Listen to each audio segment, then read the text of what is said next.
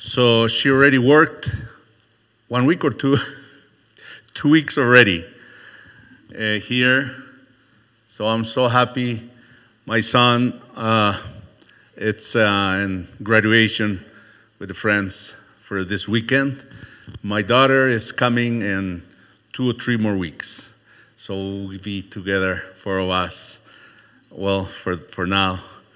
And thank you for, for everything. I don't see John. Say hi. uh, uh, they, we stayed there in John's place. It was nice. It's an experience, closer experience with my son. You know, in September, who knows, he's going for school for Loma Linda. Pray for him. I don't know when is he. I don't know when is he coming back. But that's how it is. In heaven, we'll be together always. We're staying in La Pine for this time until we got uh, our keys for our, our, our place here. And hopefully, everything will go well. Today, we're going to talk about. Uh, one of the areas of our the four areas of our mission. Jesus, before he left, he said, The Holy Spirit will come upon you and give you power. Amen. The Holy Spirit will come upon you and will give you power. Then you will tell everyone about me. Number one, in Jerusalem. Number two, in Judea. Number three, in Samaria. Number four, and everywhere in the world. Amen? So we're going to start today about this series, and we're going to talk today about Noah Noah saved his family. Amen? Uh, how many parents here? Father? Amen. Mother? Amen. You, children, you, have, you still have your, your, your father, your parent? Okay. Noah, Noah is, for me, uh, one of the ideals of family. All right? Family is not just uh, to have kids and success for this life, right? Not just in school or in the best job or, you know, with great friends in the best school. Noah, for me, is the father, the best father of the whole story of the families in the whole Bible. Imagine Noah's wife. She was one of the greatest wives in the whole Bible. She was so loving. She was so kind. Great mom, understanding, with great patience with the kids. Even they were already married, but she was still dealing with the family, with the kids and wives. So for me, Noah's family is something special. It could be ideal for us, but more than that, Noah saved his family. Amen. Noah saved his family. You can have the best husband, you can have the best wife, best kids, best parents. But don't forget about salvation. Noah saved his family. I'm going to read again in, the, in Hebrews 11, verse 7. By faith, Noah, being divinely warned and of things not yet seen, moved with godly fear, prepared an ark. For what? For the saving of his household. He prepared the, earth, the ark for the saving of his household, by which he condemned the world and became her of the righteousness which is according to faith. Let's pray. Father, I thank you for being so good to all of us. It was a great week. We have some challenges, some difficulties, but you're there always as a friend, as a father, to take us out from any negative circumstances. And thank you for opening your arms here to worship you, to praise your name. Please accept our hearts, accept our families. We're maybe not perfect, but please teach us, tell us how to save our family. I pray in Jesus' name, amen. Amen. It was by faith that Noah heard God's warnings about things he could not yet see. He obeyed God and built a large boat to save his family. He didn't do just the work, he wasn't just a servant he wasn't just a, a, a member of God's family, he was not just a leader among those uh, uh great people in his time, but he obeyed God. Amen. The principle to have good family is to obey God, to put God first, and build a large boat to save his family. Family is important. I learned many things from my grandma. I lived with her about four or five years along with her. And then I lived five years with my mom and my sister. My older brother visited us from time to time. When I was 19 years old, after the first year of college, I wanted to meet my, da- my dad, and I went to see him in person. Family is important. Family can be different from this world when we obey God, when we have God in our family. Genesis 7 1 says, The Lord told Noah, Take your whole family, not just one, the whole family, not just your wife, the whole family with you into the boat. Because you are the only one on this earth who pleases me. Praise God.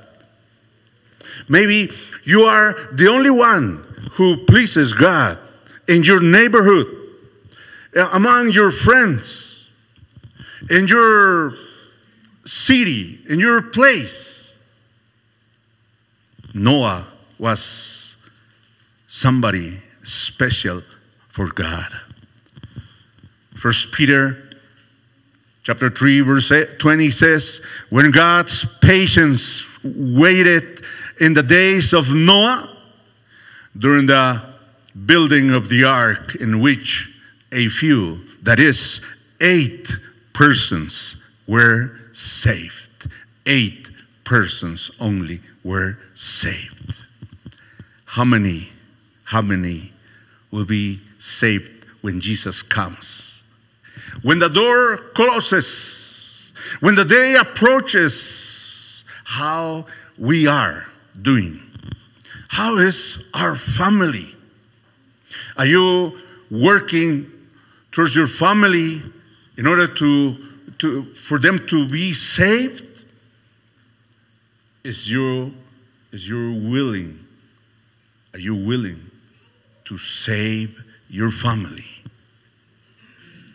Ellen G. White says in Spiritual Gifts, Volume 3, page 64 Noah was to preach to the people and also to prepare an ark as God should direct him for the saving of himself and family. He was building to save himself and his family. Remember, you study the Bible because you're interested in salvation. Amen? You wanna, you wanna take a look the Bible and, and, and, and search some passage in order to share with the family.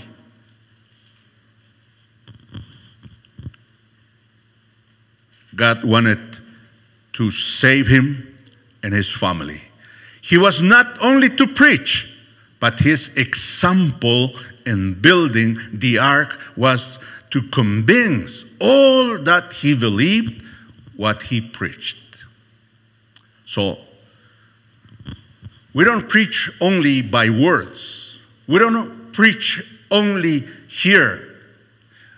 We don't speak about the word just in the church.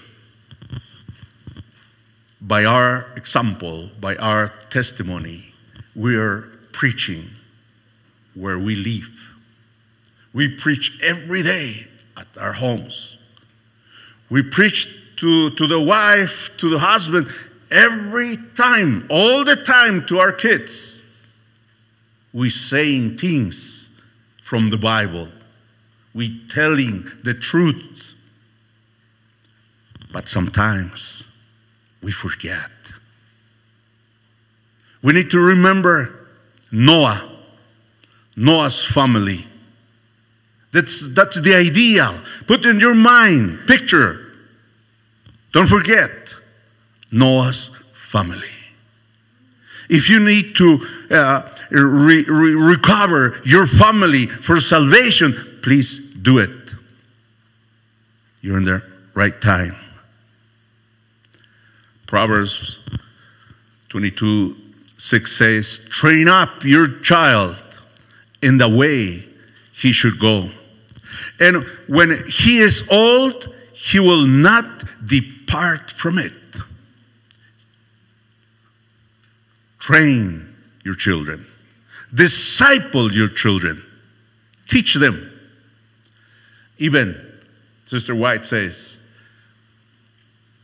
before the child is born, you can talk, you can preach, you can teach, you can sing songs about our friend Jesus Christ. Disciple.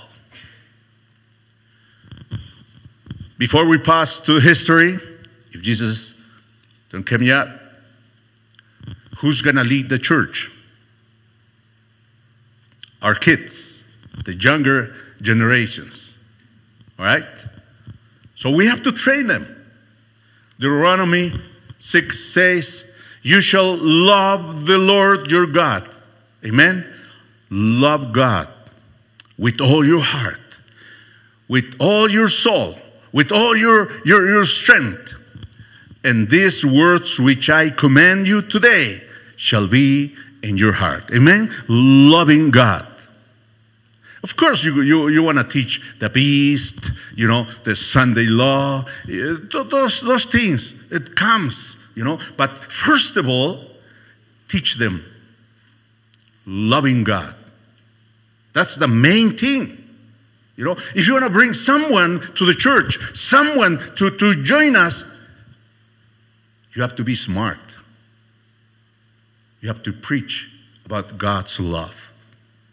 That comes first. And these words, which I command you today, shall be in your heart. You shall teach them diligently to your children, diligently to your children. Be, be effective in teaching your kids. Take your time. Pray. Good amount of time. Pray and study the word so you can teach diligently to your children and shall talk of them when you sit in your house, when you walk by the way, when you lie down, and when you rise up. All the way, all the time, every time. Preach to your children. My son, keep your father's commands and don't forget your mother's teachings. So, not only the fathers have to preach, we have to preach the kids, the sons, we should preach to our parents as well. It's the whole family. Okay, it's, it's not just the responsibility. They failed. No, no, no, no. You, you, you find your Bible and teach your parents, my son. Keep your father's commands. It's in both ways. And don't forget your mother's teaching. You have in your heart whatever your mother taught you, and you can teach to others, and you can you can share with your parents again. But look at this verse. But from eternity to eternity, the Lord's faithful love is towards those who fear Him and his righteousness towards the grandchildren of those who keep his covenant, who remember to observe his precepts. And family, in our homes, sometimes our grandchildren live with us. We have to preach to them. Even if, they're, if they lived in the, in the next city, preach to them.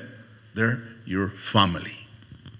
You know, I don't know if I'm going to have grandchildren, but I would like to to to to have a joy for the eternity to have my grandchildren, uh, my daughter's husband, my son's wife, you know, all together in heaven. That would be awesome. You know, we have to we have to uh, realize, you know, we have to focus in, in our family. Family is, is, is, the most important thing in, in life. Grandchildren are the crowning glory of the aged. Parents are the pride of their children. See, our first field of the mission of Jesus for the disciples, for the church, is home. Jerusalem is our home, our place. Now, let's see. Who is the best son in law here or daughter in law? I, I, heard once that I think was one of my first evangelistic uh, series when I got to the United States, the preacher, the evangelist said, Oh, I love my mother in law. Oh, he repeatedly said, But he said at the end, I always want her 1,500 miles from me. Wow. I didn't get it at that moment. Sometimes it's no, no accordance, no communion with us, with a son-in-law, daughter-in-law, father-in-law, mother-in-law. But I love Peter. I think Jerry is like Peter. Simon Peter is, is, is a cool disciple for me. You know, after leaving the church, the synagogue, that day was a Sabbath day.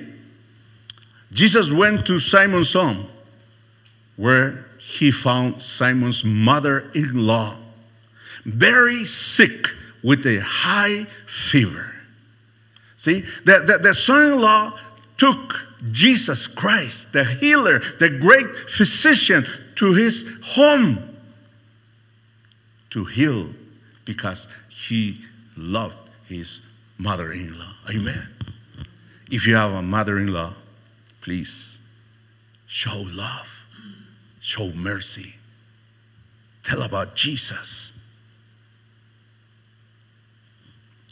From time to time, I had the privilege to have my house my father in law and my mother in law. During COVID, we had, we had a, we broadcasted by Facebook to our churches. And he was early, my father in law, ready with his suit, with his tie, because he was going to worship God. Amen. Even, uh, even I was alone and few of us. He was ready. It was inspiration for me to have my father in law. He rests in peace. Maybe one of these days my mother in law will come and you'll know her.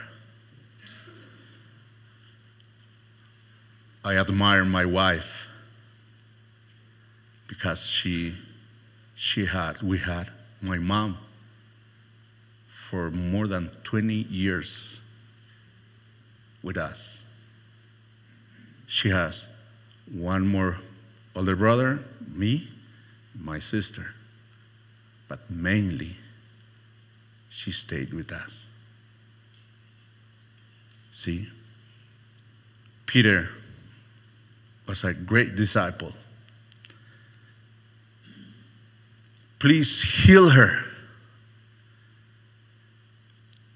Everyone backed him, standing after beside, he rebuked the fever and it left her. And she got up and once and prepared a meal for them. Prepare a meal for Jesus Christ. Wow. You know, bring Jesus, bring the word to your in laws they're our family. Paul says in 1 Timothy if a widow has children or grandchildren, all right, let them first learn to do their duty to their own family and to repay their parents or grandparents. That pleases God. I heard one lady, 91 years old, she didn't want any assistance at all. She's very independent, she's capable, she's healthy, but the daughter comes often to see her. But she doesn't want a nurse or any help. But sometimes at 90 years old will need some help. They need some help. Where are the kids? Where are the grandchildren?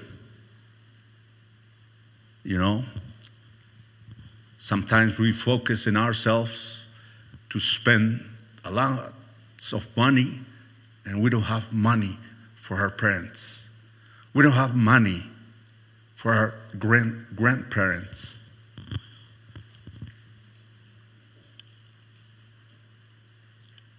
Second Timothy 5.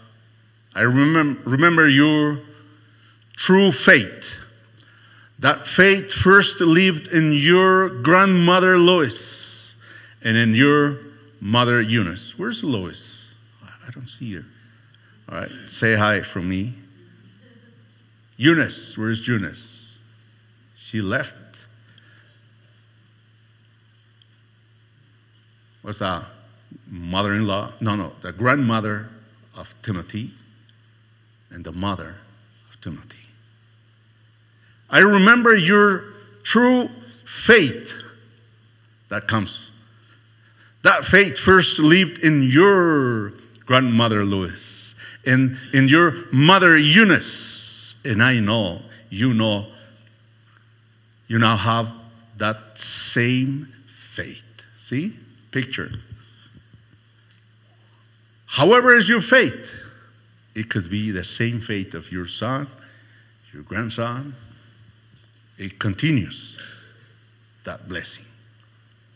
Verse 6 I remind you to keep using the gift God gave you when I laid my hands on you. He was not just a, a preacher, he was a young pastor. Let it grow as a small flame grows into fire. God did not give us a spirit that makes us afraid, but spirit of power and love and self-control. Amen. By Jesus, by the power of the Holy Spirit, we can go forward. Please don't get discouraged if your family is disorganized. So you, you, you know my family, it's, it was broken family all over. But thanks to my wife, now I have a beautiful family. Second Timothy 3 says, you should continue following the teachings of you, you learned. You now are true because you trust those who taught you. Since you were a child, you have known the Holy Scriptures, where, which are able to make you wise, wise. And that wisdom leads you to where? For, to salvation. Amen? Through faith in Jesus Christ. You know the Scripture, it gives you salvation, leads you into salvation. Please open your Bible all the day, always. If you don't, if you don't have the book anymore, if you don't like the book anymore, open your computer, open your device, your cell phone, to see the Scripture. The Scripture gives you salvation, gives you the knowledge for salvation. Without the Bible, forget it. We're lost. Acts 16. There was a, how you say, jailer who worked in the prison unjustly. Paul and Silas, you know, went there. And verse 31 says, So they said, Believe in the Lord Jesus Christ, and you'll be saved, you and your household because he was he was going to kill himself because eh, eh, God opened the doors, the gates of the prison. He broke everything. When earthquake came to free God's messengers, but they didn't run away. They didn't escape. You know why? We don't we don't hide in the mountains. We don't escape. Why? If Jesus is with us, why are we going to hide? Don't worry about persecution. He's in control. Don't worry. Don't worry about Sunday law. It's going to come. Whatever happens, God is in control of His children.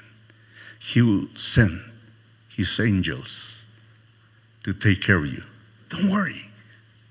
However, they have your phone number, they have your social security number, they have all your identity. How can we hide in this world? Even if you go to Mexico or to the other side of the world, they can find you. But Jesus is where? Everywhere. Jesus is with his people. So he was going to kill himself.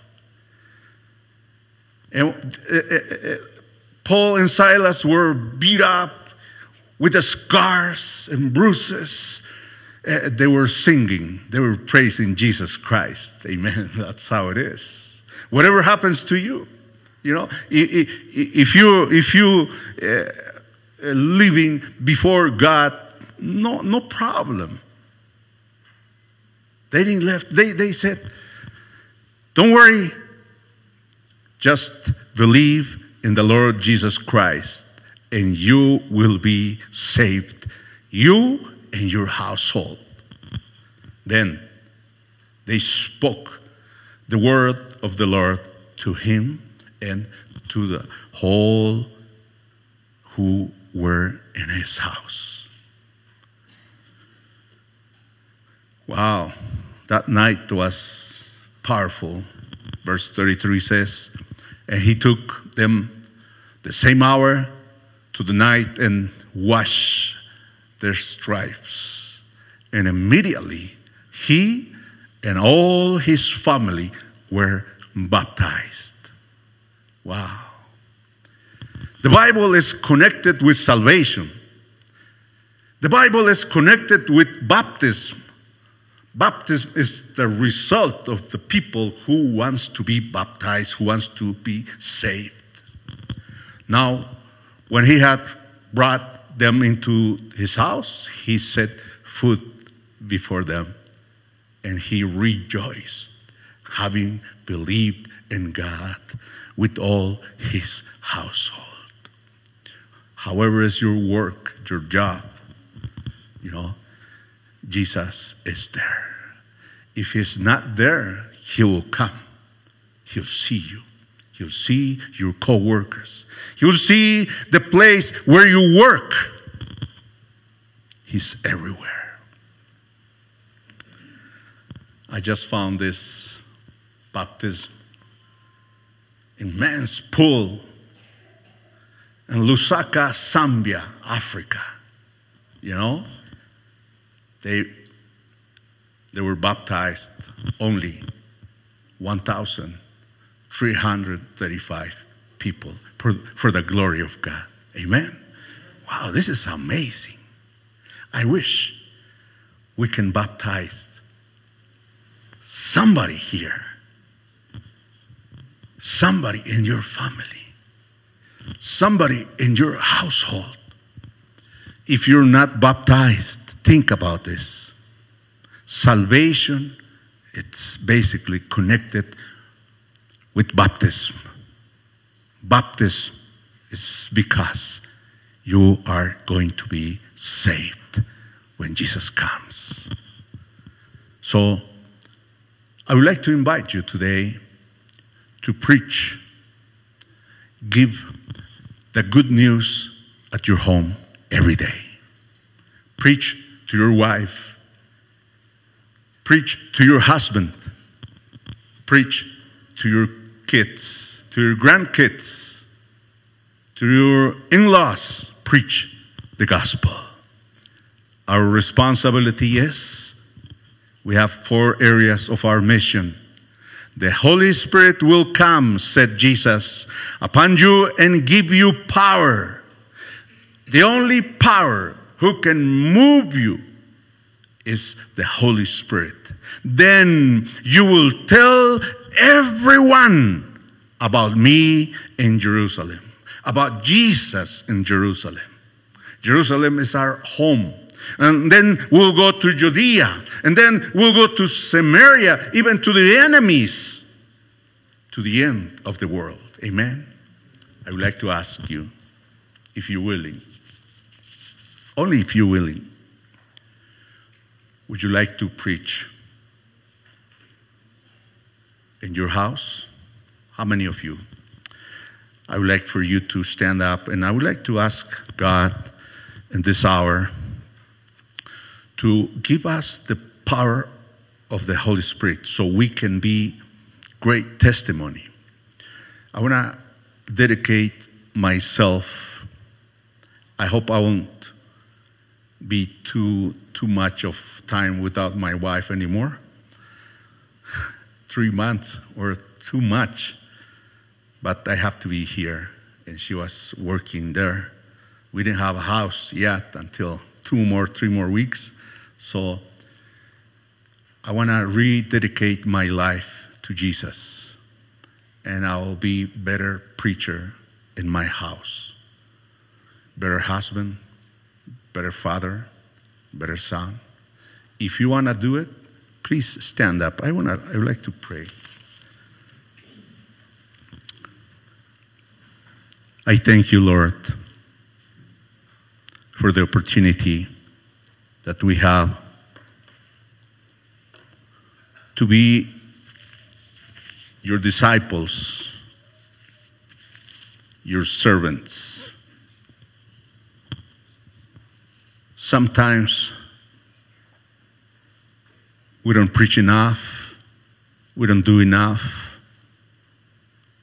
Sometimes our families are broken and need.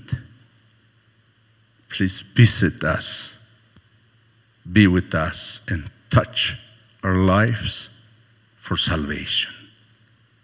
Thank you for the example of Noah and his family.